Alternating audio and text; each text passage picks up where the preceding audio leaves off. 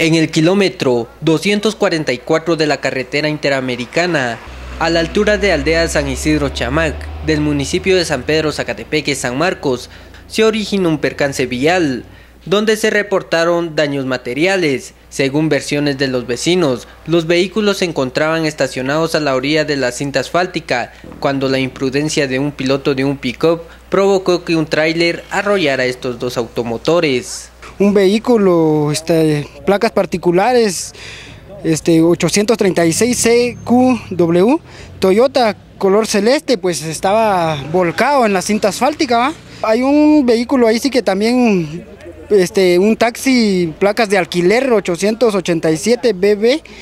Este H color rojo que según él él venía y se dirigía hacia el municipio de San Pedro y también fue afectado por el incidente. Los vecinos del lugar solicitan a las autoridades municipales la colocación de túmulos para evitar este tipo de accidentes, ya que en los últimos días se han incrementado hechos de tránsito en este lugar. Se necesita pues, la participación de las autoridades eh, para que puedan ver de qué manera pues, se eh, la, la velocidad a los conductores, porque están muy imprudentes. Entonces tienen que ver si se ponen túmulos o de qué otra manera, porque esto no, no está correcto.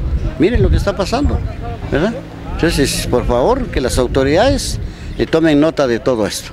Tanto accidente que hemos visto y muchas motos han, han tenido accidente, peor este accidente que pasó ahorita, pues, pues realmente yo sí suplico a las autoridades que, que nos pongan algo de, de seguridad aquí, más que todo a los niños, ¿ah? porque y también a los peatones que también caminan, mucha gente que no es de pues nuestra gente aquí pues ya más o menos saben, ¿ah? pero hay gente que viene de lejos, pues no tienen conocimiento de lo que es el asfalto, entonces es un gran riesgo y peligro para ellos. Pues, Información de las noticias, Canal 22.